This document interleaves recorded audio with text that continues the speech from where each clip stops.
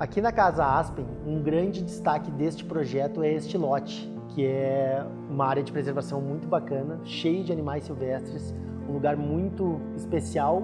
e dessa forma a gente quis fazer esse projeto bem fechado para frente do lote, dando toda a privacidade que os clientes precisavam e ao mesmo tempo abrindo o projeto para essa área de preservação que é muito legal e pega um sol maravilhoso de final de tarde. Então os principais ambientes da casa, como a área social e os quartos, as suítes, estão todos virados para essa área de preservação. Dessa forma a gente conseguiu que a fachada principal da casa fosse a fachada de trás.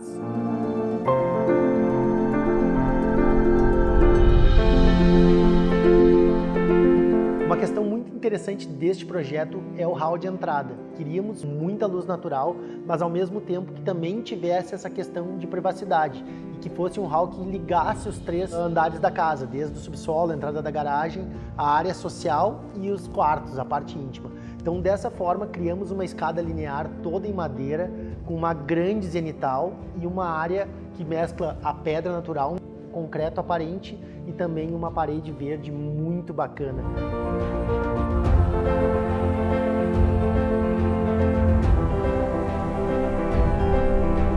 A ideia foi termos uma sala linear onde a gente tem uma sala de TV e lareira e uma área gourmet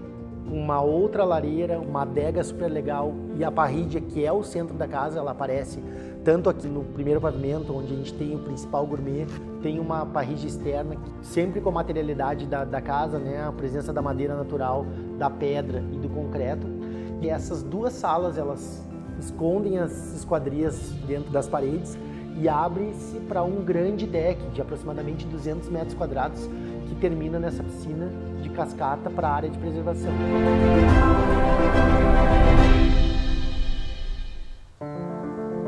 Tínhamos um terreno em declive,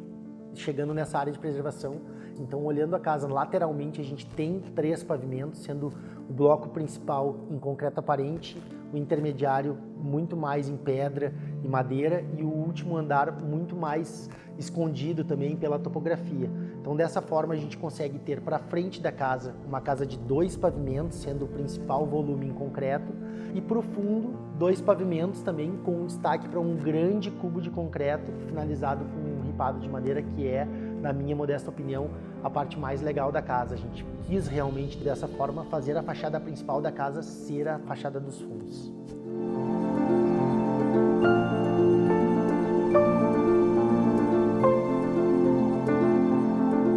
Questões que foi muito discutido com os clientes e era uma referência muito forte era a arquitetura do Uruguai, de Punta del Este, de alguns lugares que juntavam muito a madeira natural com o concreto e a pedra. Então, aqui a gente acabou escolhendo uma lâmina de carvalho natural para toda a casa, deixando destaque para muito ripado interno também, com todas as portas escondidas nessa marcenaria e dessa forma a gente buscou o que a cliente queria mesmo, que era uma casa leve, com bastante madeira, com uma cara de serra moderna, com a junção da pedra natural bem clara, com uma madeira clara, com tons mais neutros e dessa forma realmente uma casa aconchegante e ao mesmo tempo leve.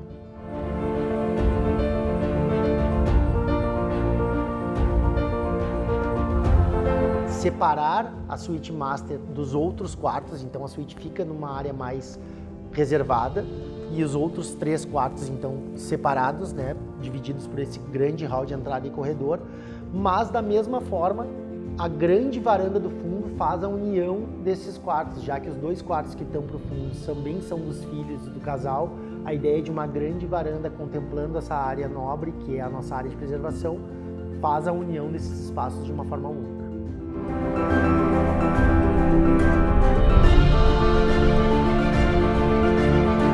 Essa casa ela foi pensada para ser uma casa de fim de semana, então não era ideia que os quartos fossem muito grandes, a gente deu muito mais ênfase para a área social da casa. Porém, a Suite Master tem um pequeno closet separado e a cama funciona numa espécie de ilha. Ela está solta no meio do quarto, virada para a principal área do, do projeto, que é a nossa área de preservação, e ainda tem uma espécie de escritório que faz esse acabamento atrás da cama, já serve como cabeceira. Tudo isso também buscando a tonalidade do, do piso de madeira, as paredes de madeira, essa leveza, grandes esquadrias. Então a Suite Master, mesmo não sendo uma suíte muito grande, ela acaba segregando em vários ambientes que juntos acabam realmente sendo um espaço muito nobre na casa.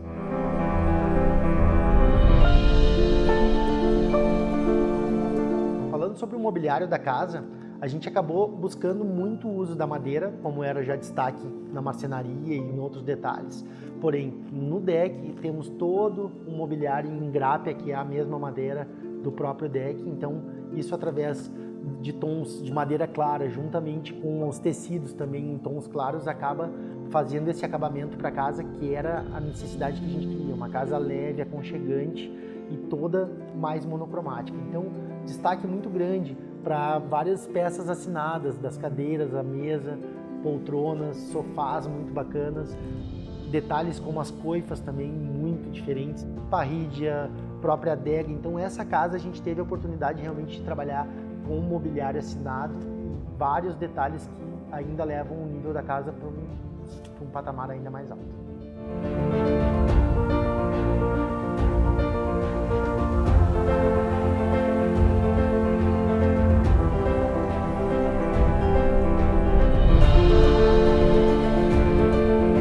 Uma questão muito importante quando se fala de casas de alto padrão é a junção de todos os profissionais, de todas as questões que envolvem uma casa desse porte. Então aqui a gente tem realmente um projeto muito legal que contemplou todas as necessidades do cliente, mas a gente só consegue um resultado como a gente teve aqui na Casa Aspen, juntamente com várias questões, principalmente uma boa construtora, uma mão de obra muito boa, um acompanhamento de obra e técnico muito bom para que todos os detalhes realmente que foram pensados sejam executados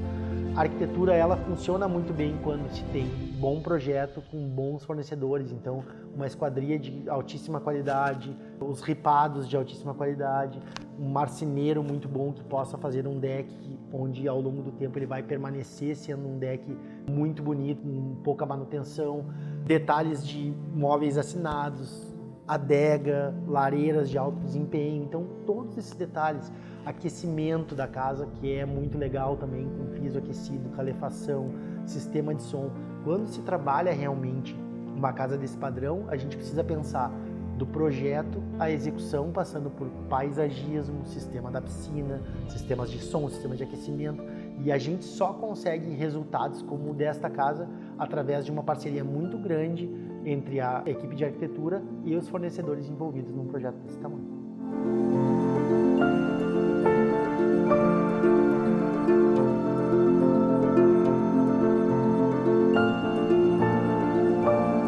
Nosso grande objetivo através da arquitetura é auxiliar os clientes a fazer essa transição de um terreno cru, vazio, para uma casa completa. Então isso é o que nos move, chegar num objetivo que é entregar para os felizes proprietários uma casa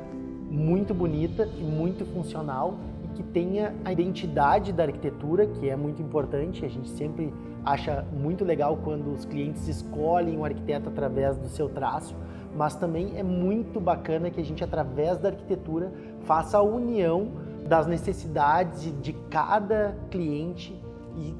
receba lá no fim um projeto que é realmente individualizado e que tem as características da família que vai usar. Então isso é muito uh, especial para a gente que a gente consiga realmente transmitir a ideia do cliente num objeto final que é uma casa linda, maravilhosa, num ambiente lindo e a gente tem os dois lados, a felicidade do cliente em ter uma casa muito bacana e a felicidade da equipe da Mairesse também de ter a oportunidade de trabalhar com projetos muito especiais assim como esse.